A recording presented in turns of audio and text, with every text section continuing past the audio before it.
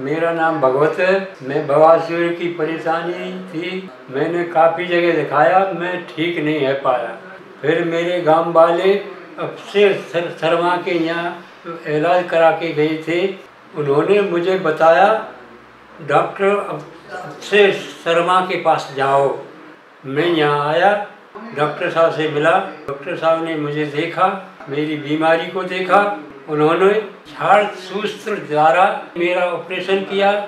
Operation के दौरान मुझे कोई किसी भी प्रकार की तकलीफ़ नहीं हुई। आज पूरी तरह से ठीक मैं डॉक्टर अभिषेक शर्मा का धन्यवाद देता हूँ। आपसे भी यही कहता हूँ, अगर किसी को कोई बीमारी इस प्रकार की हो, वृंदावन आकर डॉक्टर अभिषेक शर्मा जी से छात्र द्वारा अपना इलाज कराएँ।